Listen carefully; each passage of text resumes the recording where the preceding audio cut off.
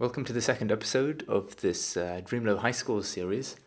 So, in the first episode, we set up a nice little system to submit and retrieve our scores uh, from the Dreamlo database. So, all I want to do in this episode is to take this information and uh, actually display it in our game world. So, I'm going to just drag this console off to the side and display my game world a little bit more prominently over here. And uh, let's create a new C Sharp script. I'm going to call this display high scores. And I'm going to attach it to the same high scores game object that the high scores script is attached to. And uh, before we do anything in the display high scores script, let us design a little interface. So uh, I'm going to turn this background color to a nice dark gray. I'm also going to create a new UI object, which is going to be the uh, canvas for our whole UI to, uh, to be contained in. And let's just set this to pixel perfect. And I'm going to create a uh, text UI object. And let's give this a white color. And if we just press T or uh, choose this tool up here, this is the, uh, uh, the rect transform tool. We can just give ourselves some more room here, turn the font size up a bit. I'm just going to uh, change the vertical overflow to the overflow instead of truncate so that uh, this um, doesn't sort of cut off and disappear if it goes outside of its box. It's just a bit annoying uh, when it does that. And uh, I'm just going to position this in the center. And let's call this our leaderboards. Alright, need to scale it up a tiny bit more. Okay, so you'll notice now if we adjust the screen size, this doesn't really work as we want it to. Um, so let's go back onto our canvas and we can change the UI scale mode from constant pixel size to actually scale with the screen size. And uh, let's give it our reference resolution. I'm working in 16 by 9, so I'll just give it, say, 1280 by 720. And we're going to have to adjust the size now again. Um, just scale it up.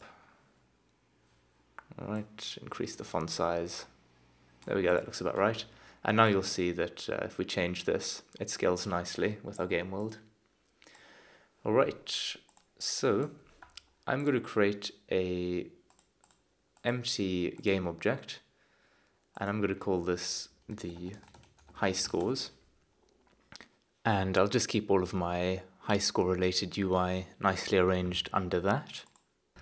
And I can call this the um, title. And let's duplicate this text here, drag it down, and uh, I'm going to change the alignment to uh, go to the left. And let's just create a little mock-up of, um, of a score. So I'll type in my name, and some score and we can decrease the font size. Something like that. Alright let's position that. That looks good. Just for some color I'll uh, change this to something reddish And now let's grab this and duplicate it a bunch of times. I'll first give it a name, um, call it score01. And when we duplicate, you can see it automatically renames it score02. You can drag this down. Just drag down a bunch of them. Um, I'm going to make two columns. This will be, let, let me create another empty child. I'll call this uh, high scores 01. Actually, I'm going to call it column 01. And I'll just set this to sort of go around the bounds there and just parent all of this to column 1. And now I'm going to duplicate column 1 and that will be now called column 2 and just drag this over here. Alright, so we've got a very basic uh, leaderboards UI set up. So we can now start fiddling around with our display high scores class. So we want to be able to access those uh, text thingies that we just created. So we need to say using Unity Engine dot UI and now we can create a public array of texts like this. And we can call this our high score text. And uh, let's also get a reference to the high scores class. Um, I'll just call this the high score manager. And in the start method let's go through each of our high score texts. So we'll just uh, do a little for loop. Say for int i equals 0 i less than uh, however many high score texts we have. So we can just say high score text dot length increment i. And now we'll say high score text i dot text is equal to. So first we want the position the, the sort of number that it is. So since i starts at 0 we'll just do i plus 1 and then let's add in a full stop. And for now let's just say fetching dot dot dot saying it's uh, currently fetching the information from the from the server. And we can also just uh, set high score manager equal to get component high scores. alright let's see if that's working go back into unity um, we've now got this little array field here. I'm going to go up here and click this lock, which just allows me to uh, select a whole bunch of these at a time without uh, changing the inspector. And we can drag these all in here and just make sure that they're numbered correctly from 1 to 5. And then select column 2 and drag those in. And just once again, just double check they're all been assigned correctly and I'm going to uncheck this lock now and uh, let's see what happens when we press play. Okay, so you can see these have all changed to be numbered correctly from 1 to 10 and they're saying fetching dot dot dot which at the moment is a lie, it's not fetching. So let's go back into our script and actually make it retrieve those uh, those scores. So let's create a IEnumerator called refresh, not redresh, refresh high scores. So this is just going to call the high score manager and ask to download the high scores every couple of seconds. So we'll say while true, uh, we'll call high scores dot download high and then we can tell it to pause, uh, yield return new, wait for seconds, and here we can specify our refresh rate. Um, I can, I'll just say 30 seconds. And now all we need to do is call this from the start method. So we can say start coroutine, uh, refresh high scores. All right, and now we need a public method to actually assign the scores to the text once it's been retrieved. So we can call this on high scores downloaded. And this will take an a array of high scores. Um, just to prevent any confusion, remember we've got the high scores class, which is called high scores, and then we've got the high score struct, which is for storing the username and score in. So make sure you don't get these two mixed up because um, that will cause problems. So we can call this array the high score list. And I'm just going to copy this little for loop over here. Alright, so I'm going to delete the fetching dot dot dot part in here. So now it's just the rank and a full stop and a space. So now we want to check if the uh, high score list dot length is um, greater than i because of course uh, we might have more high score texts than we actually have high scores um, if not many people have played the game yet so if uh, if we run out of high scores then we'll just show the position and a dot. Otherwise we can add on high scores text um, i dot text is e well we want to actually add to it plus equal to um, the high scores list i dot username followed by let's say a dash and then high score list i dot score all right so now we need to go into the high scores class and we need a reference to our display high scores. So let's create a variable display high scores, which we can call maybe the high scores display.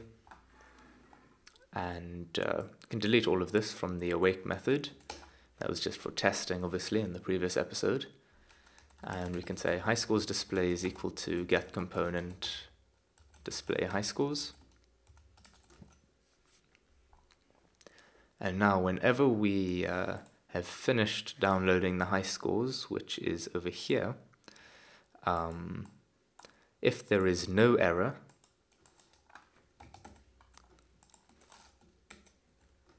if there's no error, then we want to say display high scores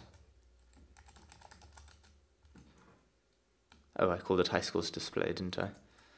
Um, then we want to say high scores, oops, high scores display dot on high scores downloaded, and we want to pass in our list of high scores. Alright, let's go into Unity and see if it's working. And it is. Alright, cool. So there are just a few odds and ends that I want to look at before we wrap up. So in the high scores class, we'd ideally want this add new high score method to be static because that would allow us to easily access it from any script that wants to upload a new high score. So let's make it static. But now the problem is um, we can't call start coroutine uh, normally from a static method.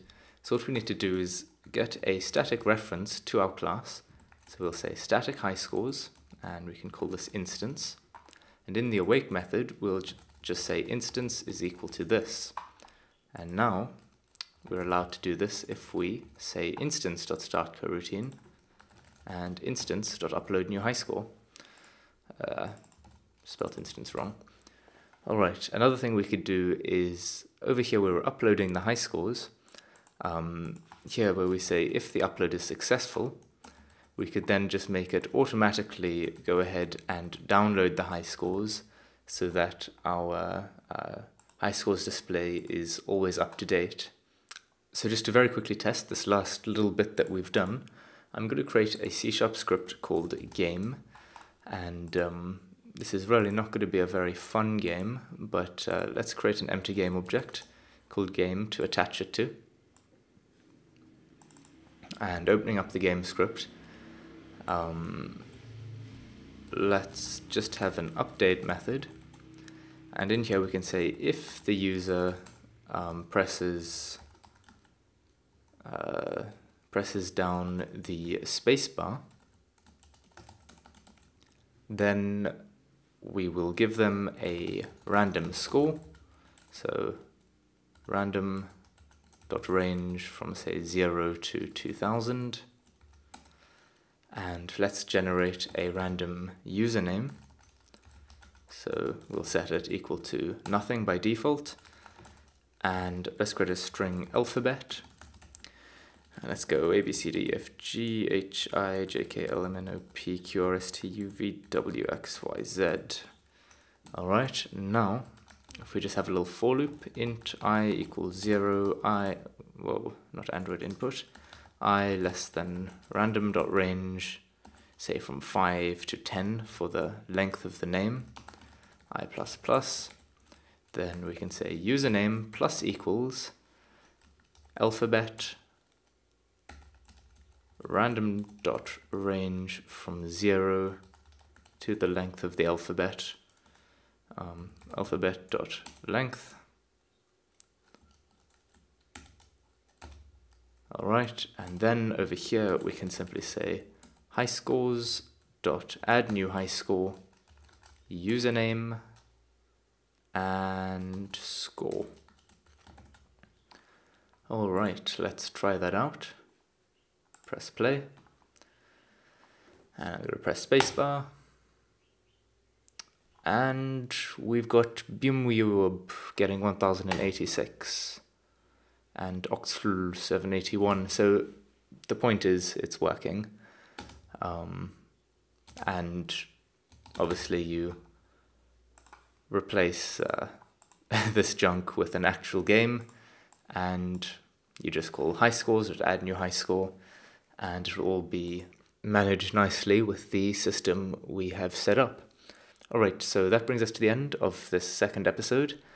Um, let me know if you have any questions or if you have any requests for other game development related series. I would be happy to consider those. Um, and yeah, thanks for watching. Cheers.